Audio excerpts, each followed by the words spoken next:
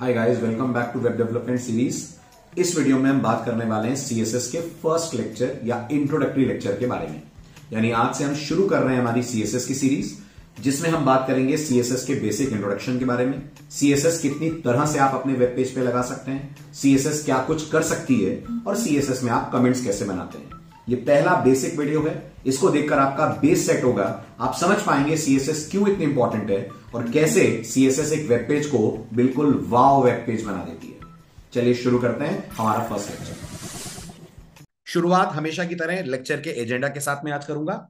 आज क्या क्या बातें हमारे बीच में होंगी? तो पहला पॉइंट आज हम डिस्कस करेंगे सीएसएस अपने आप में क्या है? सीएसएस के क्या क्या वर्जन अवेलेबल है मार्केट में? सीएसएस कितनी तरह से आप अपने वेब पेज पे अप्लाई कर सकते हैं? और अगर आपको सीएसएस में कोई चीज़ कमेंट आउट करनी हो फ्रेंड्स तो ये आप कैसे करते हैं?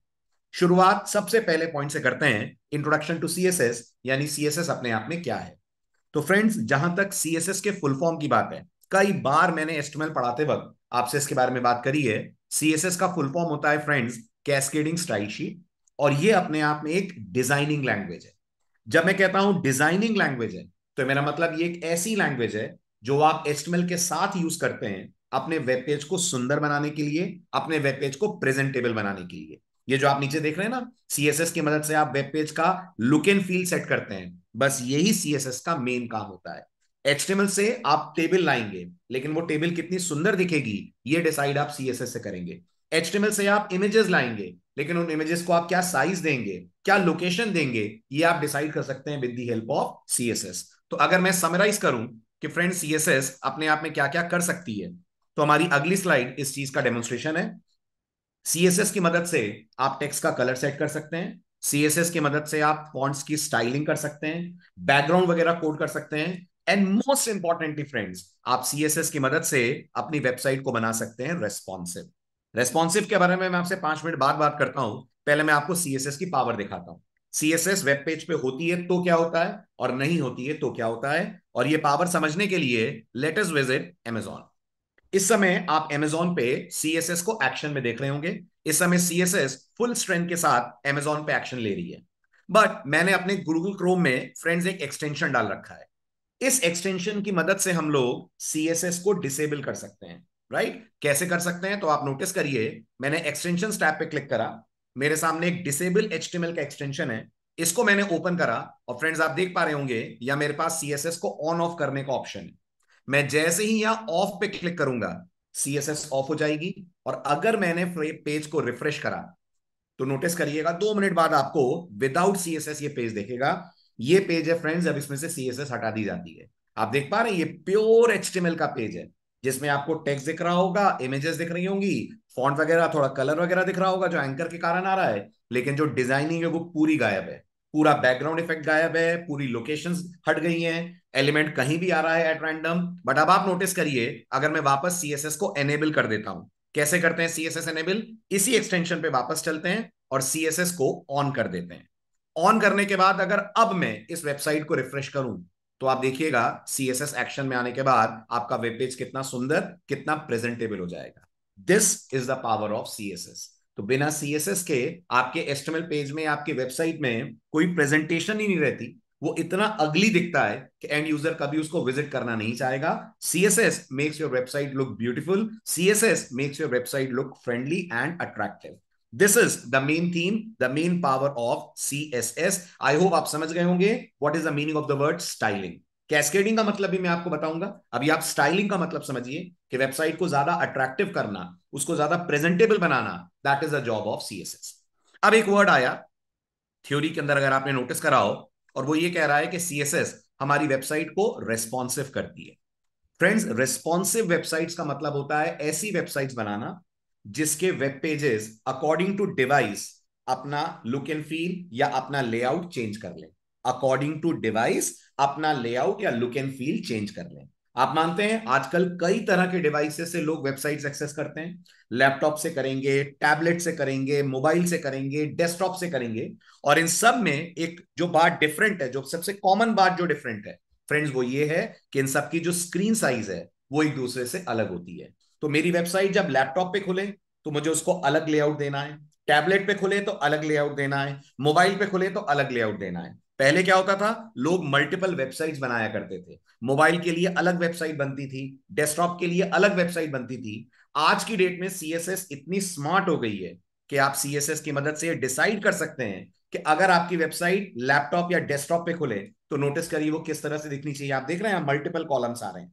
जब वो टैबलेट पे आ रही है, ये मल्टीपल कॉलम श्रिंक होकर थ्री कॉलम्स में कन्वर्ट हो गए हैं। और नोटिस करिए, जब यही वेबसाइट मोबाइल पे खुल रही है तो सिंगल कॉलम लेआउट के अंदर कन्वर्ट हो गया है।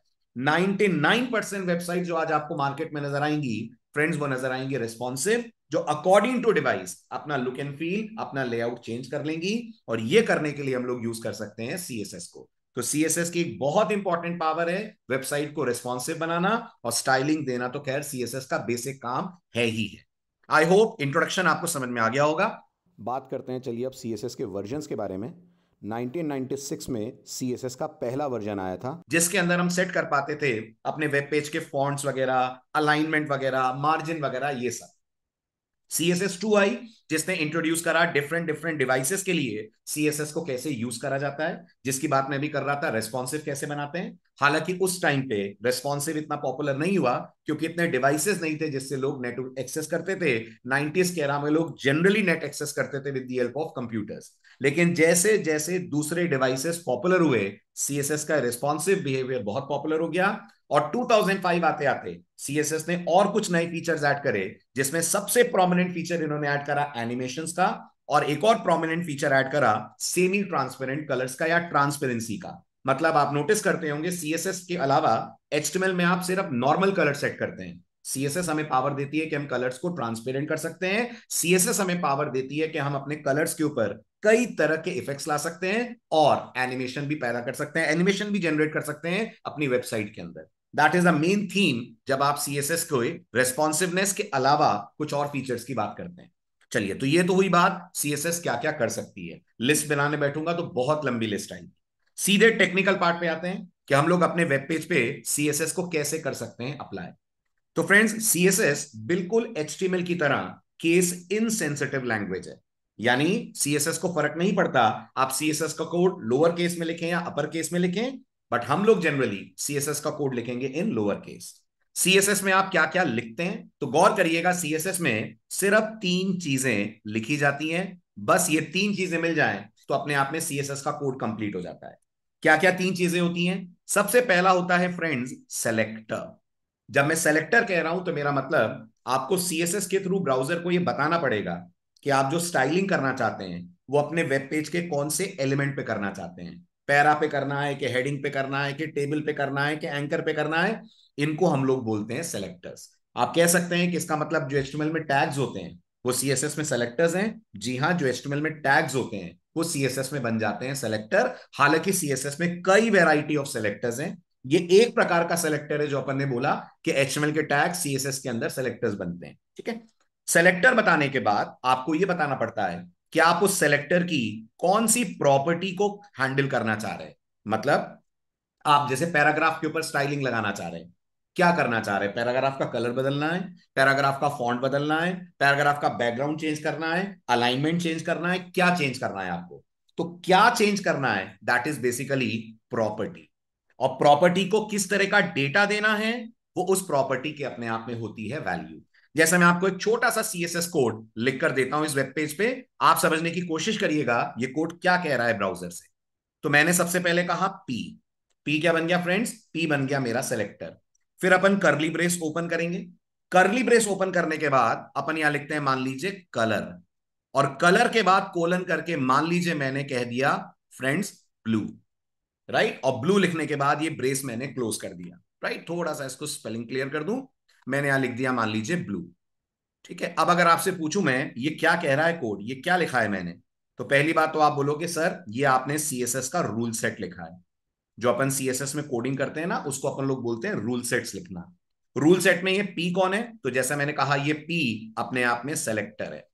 जिसके थ्रू हम ये बता रहे हैं ब्राउज़र को कि हमें सारा इफ़ेक्ट पैराग्राफ पे चाहिए। ये जो हम कोड लिख रहे हैं पैराग्राफ के लिए लिख रहे हैं। ये जो आप कलर देख रहे हैं, ये बता रहा है पैराग्राफ का क्या चेंज करना है, यानी कौन सी प्रॉपर्टी चेंज करनी है। तो मुझे पैराग्राफ का फॉन्ट कलर चेंज करना है। और ये जो आप देख रहे हैं ब्लू ये इस फॉन्ट कलर की करस्पॉन्डिंग वैल्यू है। अभी चिंता मत करिएगा कि सर, हमें कैसे पता कि फॉन्ट कलर चेंज करने के लिए कलर बोलते हैं? ये आप धीरे धीरे सीखेंगे जैसे जैसे सीएसएस में आप आगे बढ़ेंगे। जैसे एचटीएमएल में टैक्स के साथ एट्रीब्यूट्स होते हैं, ऐसे सीएसएस के अंदर सेलेक्टर्स के साथ प्रॉपर्टीज़ होती हैं। एचटीएमएल में आप एट्रीब्यूट्स को इक्वल टू करके वैल्यू देते हैं। सीएसएस में हम प्रॉपर्टीज़ को वैल्यू देते हैं कोलन की मदद से। कोलन के लेफ़्ट हैंड साइड पे प्रॉपर्टी है और कोलन के राइट हैंड साइड पे वैल्यू आती है। ठीक है? Without wasting any further time मैं आपको सीधे इसका दिखाता हूँ प्रैक्टिकल डेमोन्स्ट्रेशन फ्रेंड्स ये मेरे पास एक छोटा सा सीएसएस कोड है। ये वाले कोड की मैं बात कर रहा हूँ, जो मैंने अपने एक्सटर्नल पेज के अंदर लिखा हुआ है। अच्छा कहाँ लिखा हुआ है? तो मैं बता दूँ सीएसएस आप तीन तरह से अपने पेज में ऐड करते हैं। अभी जिसका डेमोन्स्ट्रेशन आप देख रहे हैं, इसको हम लोग बोलते हैं इंटरनल सीएसएस बाकी दोनों के बारे में भी इसी वीडियो में हम बात करने वाले हैं बट एज ऑफ़ नाउ ध्यान रखिए, जब आप स्टाइल टैग के अंदर डायरेक्ट सीएसएस की कोडिंग डालते हैं, अपन कहते हैं आप यूज़ कर रहे हैं सीएसएस को एज इंटरनल सीएसएस अच्छा अब इस इंटरनल सीएसएस में हम ब्राउज़र से क्या करने को कह रहे हैं? तो मैं ब्राउज़र से ये बोल रहा हूँ कि मेरे वेब पेज पे जितने भी पी टैग्स हैं पी टैग्स क्या होते हैं? पैराग्राफ्स तो मैं बोल रहा हूँ, मुझे ये स्टाइलिंग ऑल द पैराग्राफ्स पे लगानी है। क्या लगानी है? मुझे दो स्टाइलिंग लगानी है। हर पैराग्राफ का फॉन्ट कलर मेरे को रेड चाहिए और हर पैराग्राफ का जो अलाइनमेंट है टेक्स्ट का, वो मेरे को सेंटर चाहिए। आई होप आप एचटीएमएल के बेसिक्स से याद कर पा रहे होंगे कि पैराग्राफ का डिफ़ॉल्ट अलाइनमेंट लेफ़्ट होता है पैराग्राफ का डिफ़ॉल्ट फॉन्ट कलर ब्लैक होता है। हमारा कोड पैराग्राफ के फॉन्ट कलर को रेड कर रहा है और पैराग्राफ का ये अलाइनमेंट कर रहा है सेंटर यहाँ ये बात भी जानना ज़रूरी है कि बाय डिफ़ॉल्ट ब्राउज़र भी अपनी कुछ सीएसएस अप्लाई करता है। जैसे अगर मैं इस वेब पेज को डेमोन्स्ट्रेट करूँ तो आप मुझे बताइए, क्या इस पी पे ये सीएसएस लगेगी?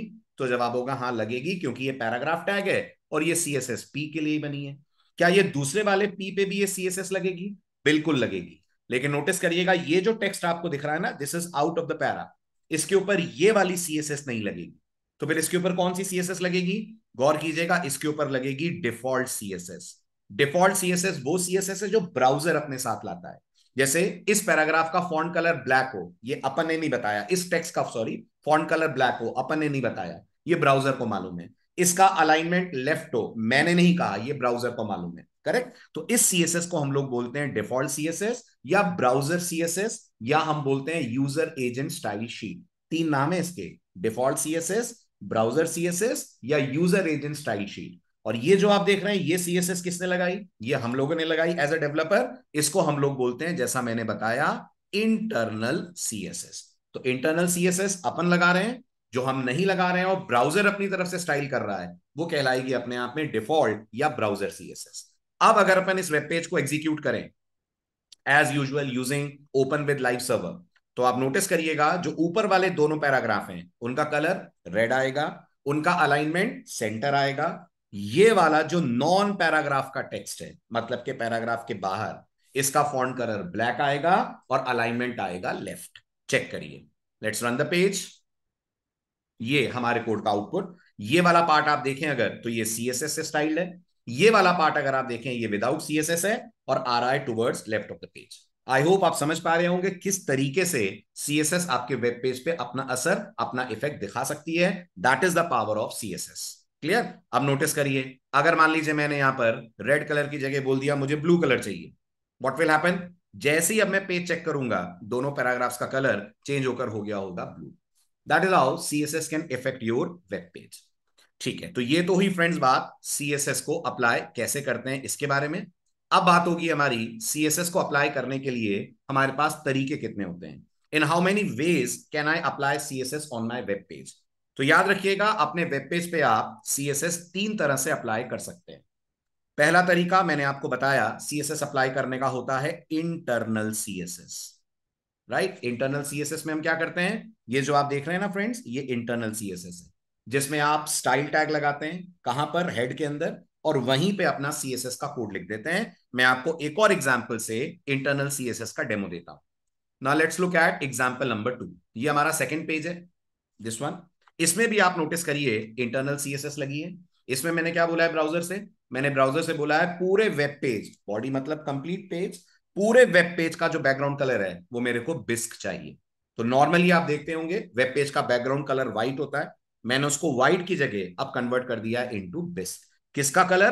पूरे बॉडी टैग का कलर। बॉडी मतलब entire background of my web page will be converted to अच्छा अब अगर हम इस पेज को रन करेंगे तो क्या होगा? क्या हमारे H1 के फॉन्ट कलर पे कोई असर पड़ेगा? नहीं पड़ेगा। H1 का फॉन्ट अभी भी हमें ब्लैक मिलेगा। फॉन्ट साइज़ H1 की अभी भी हमें 32 पिक्सल मिलेगी। इसी तरह से पैराग्राफ का फॉन्ट अभी भी हमको ब्लैक मिलेगा। पैराग्राफ की फॉन्ट साइज़ 16 पिक्सल मिलेगी। ये सब कौन कर रहा है? ये सब ब्राउज़र की डिफ़ॉल्ट सीएसएस कर रही है। लेकिन पूरे वेब पेज का बैकग्राउंड कलर क्या मिलेगा? पूरे वेब पेज का बैकग्राउंड कलर अपन को देखने को मिलेगा बिस्क तो अगर मैं इस वेब पेज को एग्जीक्यूट करूँ, लाइक दिस,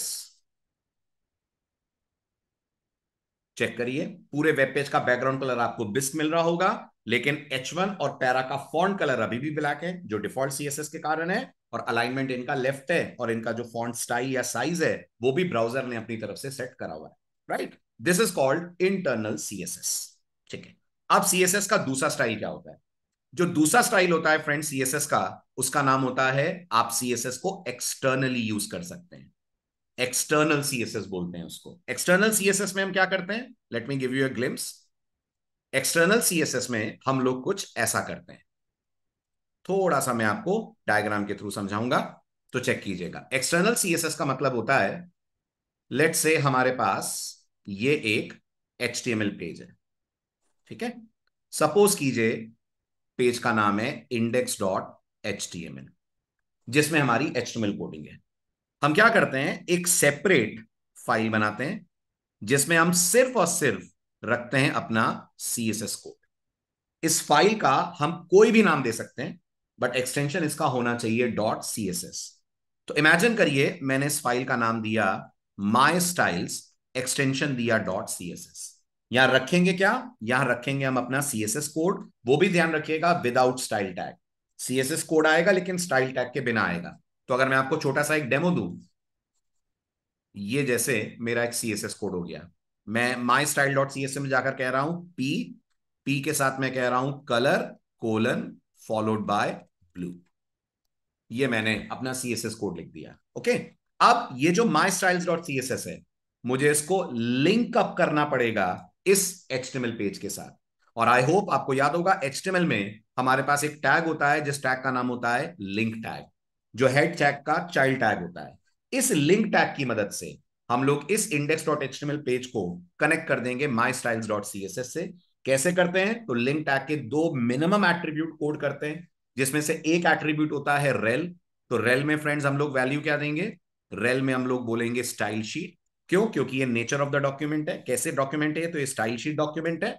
और उसके बाद हम लोग को एक एट्रीब्यूट और कोड करना होता है विच इज़ एच जिसमें हमको इसका मेंशन करना पड़ेगा पाथ तो इस फ़ाइल का यहाँ पर हम पाथ मेंशन करेंगे, लिंक टैग को हम लोग क्लोज करेंगे, और अब जब आप इस इंडेक्स डॉट एच को ब्राउज़र में ओपन करेंगे, ब्राउज़र ऑटोमेटिकली लिंक टैग के कारण इस सीएसएस कोड को लोड करेगा और इस वेब पेज के हर पैरा पे फॉन्ट कलर अप्लाई कर देगा ब्लू कौन सा तरीका कहलाया?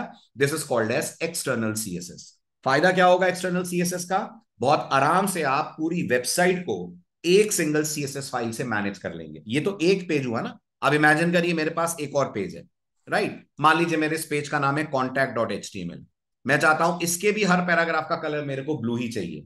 Nothing needs to be done ये सी एस एस कोडिंग मेरे पास ऑलरेडी है। मुझे सिर्फ़ यहाँ भी मेंशन करना होगा लिंक टैग और मैं इसको भी इस फ़ाइल से कर सकता हूँ कनेक्ट और अगर आपको लग रहा है, नहीं सर मेरे को इसके लिए डिफरेंट सीएसएस चाहिए, वो भी आप कर सकते हैं। एक और सीएसएस फ़ाइल बना सकते हैं, उसको कॉन्टैक्ट डॉट एच से कनेक्ट कर दें। जनरली जो रिकमेंडेड प्रैक्टिस है फ्रेंड्स वो यही है। कि आप इंटरनल की जगह कोशिश करें कि आप यूज़ करें एक्सटर्नल सीएसएस क्योंकि अगर आपकी वेबसाइट मल्टी पेज वेबसाइट है तो सबके लिए जो कॉमन थीम है, वो आप सेट कर सकते हैं inside this my styles dot C S S जो डिफरेंट डिफरेंट चीज़ें हैं, वो इनकी अलग अलग सी एस एस में भी आप कोड कर पाएँगे। ओके? तो हम पढ़ेंगे सारे बट मैं आपको बता दूँ प्रोजेक्ट लेवल पे जो मोस्ट रिकमेंडेड अप्रोच है, वो होती है एक्सटर्नल सीएसएस क्योंकि ये मिक्सअप नहीं करती है एक्सटर्नल और सीएसएस को दोनों बिल्कुल सेपरेट सेपरेट रहते हैं। एचटीएमएल का डेवलपर पूरा फोकस एचटीएमएल पेज पे कर सकता है और सीएसएस वाला डेवलपर एक्सटर्नली सीएसएस से इस एचटीएमएल पेज को कर सकता है कंट्रोल चलिए, इसका भी दिखाता हूँ मैं आपको एक लाइव डेमो एक actual code so coming back to our development environment ये मेरे पास एक्सटर्नल सीएसएस का एग्जांपल है। ध्यान दीजिएगा। कहा मेरी एक्सटर्नल सीएसएस कोडेड है? तो नोटिस करिए। मेरे पास एक फोल्डर है CSS files I hope forward slash देखकर आपको याद आ रहा होगा, ये फोल्डर एप्लीकेशन रूट पे है। उसके अंदर एक फ़ाइल है जिसका नाम है my styles dot C S S तो मैं सबसे पहले आपको my styles dot C S S का कंटेंट दिखा दूँ। इसके अंदर मैंने एज यूजल दो प्रॉपर्टीज़ कोड करी हुई हैं, एक अलाइनमेंट और एक कलर ऑफ़ द टेक्स्ट और कोड किसके लिए करा हुआ है? कोड करा हुआ है मैंने पैराग्राफ के लिए। अब ब्राउज़र को कैसे बोला जाए कि मुझे ये वाला my style dot C S S अपने इस एचटीएमएल पेज पे चाहिए? तो ये बोलने के लिए मैंने यूज़ करा है लिंक टैग रेल के अंदर दिया है मैंने style sheet type friends optional है, आज C S S numero uno language है, बल्कि मेरा मेरा मतलब है, सिर्फ़ एक लैंग्वेज कहना चाहिए तो भी गलत नहीं होगा, जिससे आप स्टाइलिंग कर पाते हैं। तो कोई ज़रूरत ही नहीं है कि हम यहाँ टाइप लिखें वी कैन ड्रॉप इट और हम ब्राउज़र को बस दो चीज़ें बता रहे हैं कि हमें स्टाइल शीट चाहिए, कौन सी स्टाइल शीट चाहिए? My styles dot C S S चाहिए। अब इस वेब पेज पे जो दोनों पैराग्राफ्स हैं, आप देखेंगे इसके ऊपर इस my styles dot C S S का आ जाएगा इफ़ेक्ट अब अगर मैं इस पेज को रन करता हूँ ये पर्टिकुलर पेज अब एक्सटर्नल सी एस एस के थ्रू स्टाइल्ड है।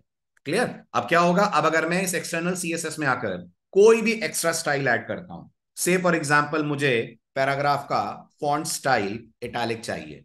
अभी क्या था? अभी फॉन्ट स्टाइल हमारा नॉर्मल आ रहा है। तो मैं यहाँ कोड कर दूँगा इटैलिक सेमिकोलन सेव करिए। सेमिकोलन लगाना बहुत ज़रूरी है सीएसएस में। Just like C C plus plus और जावा हर प्रॉपर्टी के बाद आपको लास्ट में एक सेमिकोलन देना चाहिए। हालाँकि आप अगर नहीं भी देंगे तो जब आप इस पेज को सेव करेंगे तो जो आपने एक्सटेंशन ऐड करा हुआ है प्रिटियर वो ये सेमिकोलन ऑटोमेटिकली लगा देगा।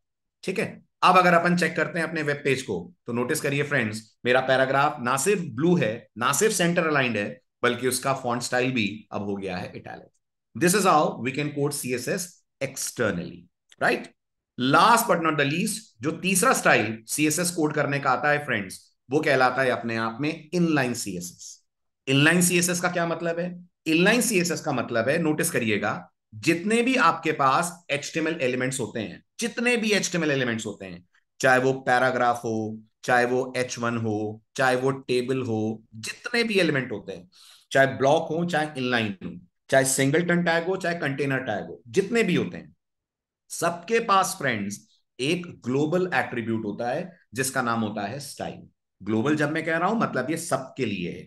इवन ये आपके एचटीएमएल टैग के पास भी होता है राइट right? तो सबके पास एक ग्लोबल एट्रीब्यूट होता है, जिसका नाम होता है स्टाइल आप इस स्टाइल एट्रीब्यूट के अंदर अगर कुछ कोड लिख देते हैं सीएसएस का तो ये तरीका सीएसएस लिखने का अपने आप में कहलाता है इन लाइन सीएसएस राइट जैसे आप इस एग्ज़ाम्पल में नोटिस करिए, मैंने अपने फ़र्स्ट पैराग्राफ पे कोई स्टाइलिंग नहीं करी है।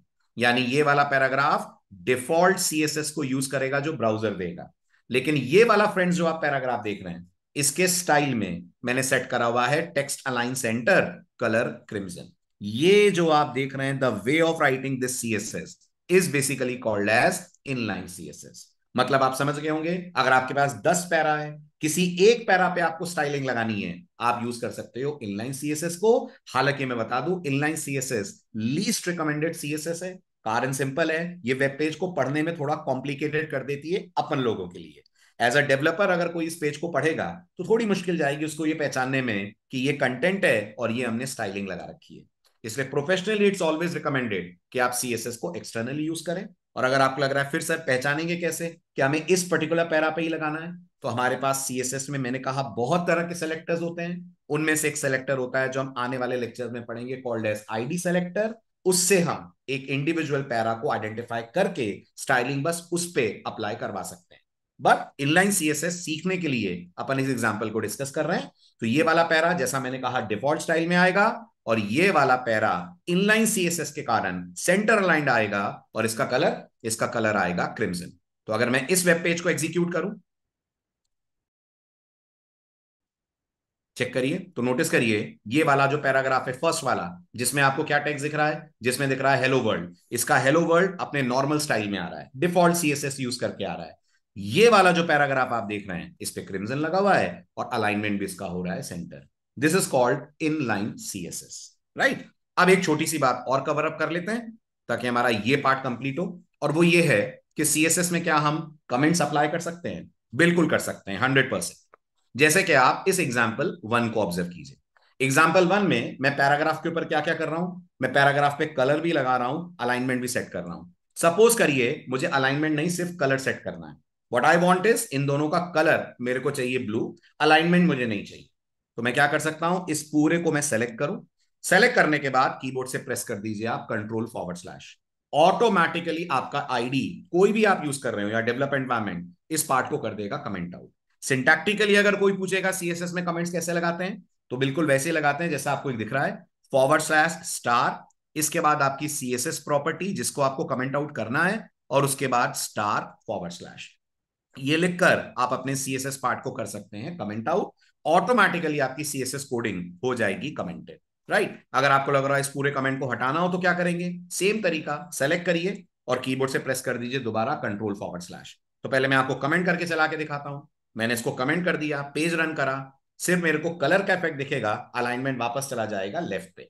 Coming back to the code वापस आकर अगर मैं इस पार्ट को अनकमेंट कर देता हूँ, वापस मेरे पास अलाइनमेंट आ जाएगा सेंटर और कलर तो रहेगा ही रहेगा। Blue this is how we can set और कमेंट और uncomment a part on CSS मिलते हैं अगले वीडियो में। बात होगी एक बहुत इंपॉर्टेंट डाउट की, जो इस वीडियो को सुनते वक्त या देखते वक्त आपके दिमाग में आया होगा, और वो ये कि अगर मल्टीपल प्रॉपर्टीज़ हम कोड कर देते हैं या एक ही प्रॉपर्टी को मल्टीपल जगह पे कोड कर देते हैं then what the browser will do इसके लिए हम समझेंगे a very important word which is called as cascading उससे इस सवाल का जवाब मैं आपको दूँगा। मिलते हैं अगले वीडियो में। स्टेट यून thank you so much for all the loving support